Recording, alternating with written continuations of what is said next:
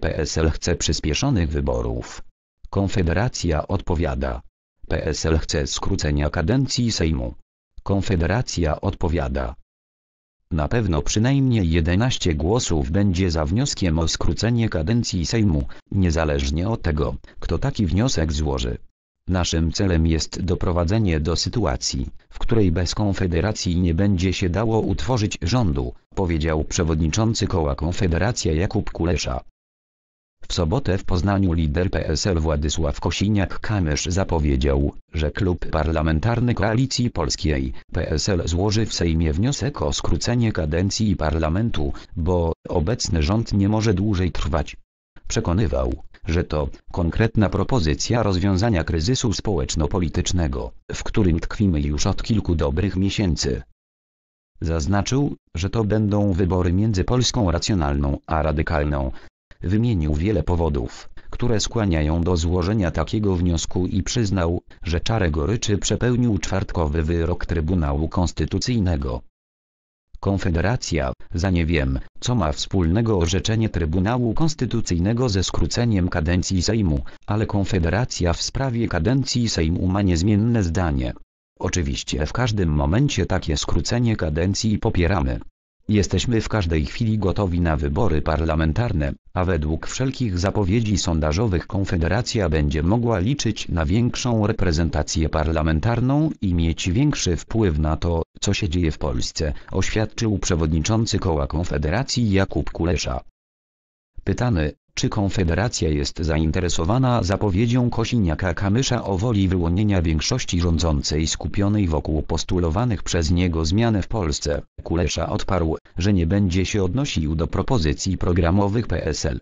Dywagacji na temat koalicji powyborczych nie prowadzi się przed wyborami, tylko po wyborach, w zależności od tego, ile kto zdobył mandatów w Sejmie, zauważył. Nasze propozycje są znane. Od lat mówimy o naszych propozycjach podatkowych, wsparciu przedsiębiorców, o propozycjach naszych reform.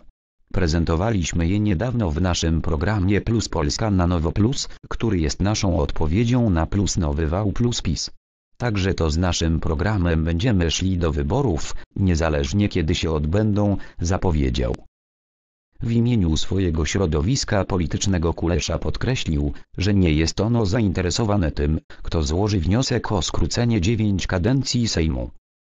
Od początku kadencji Sejmu deklarujemy, że celem naszych ugrupowań jest wpływ na Polskę, na rzeczywistość, w tej kadencji Sejmu jesteśmy w opozycji, więc oczywiście każdy wniosek o skrócenie kadencji i rozpisanie wyborów poprzemy, bo dzięki temu będziemy mogli liczyć, że będziemy mieli większy wpływ na to, co się dzieje w Polsce, powiedział. Cieszymy się z każdej debaty dopytywany, czy Konfederacja liczy na to, że będzie miała realny wpływ na rządzenie, w tym na przebieg procesu legislacyjnego. Szef 11-osobowego koła sejmowego przyznał, że arytmetyka sejmowa jest bezwzględna, a zgodnie z konstytucją, prawo do występowania z inicjatywą ustawodawczą przysługuje m.in. grupie co najmniej 15 posłów. Mimo to, jak przypomniał, Konfederacja złożyła projekt ustawy Stop segregacji sanitarnej, pod którym podpisało się 11 posłów jego partii i 11 posłów z innych ugrupowań. Jednak projekt utknął w tak zwane zamrażarce sejmowej.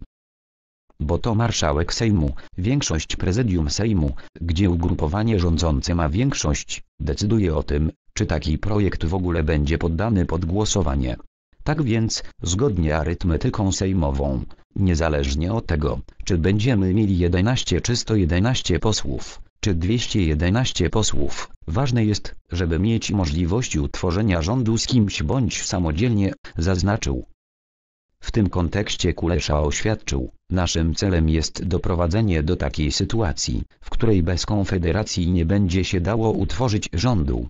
To da nam najlepszą pozycję negocjacyjną pozycję siły do tego, by przeforsować nasze propozycje programowe.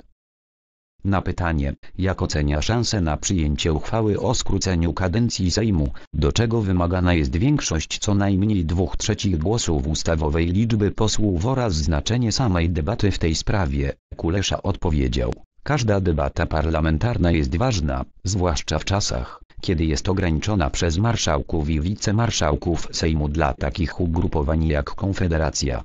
Więc my cieszymy się z każdej debaty, bo możemy przedstawiać swoje propozycje.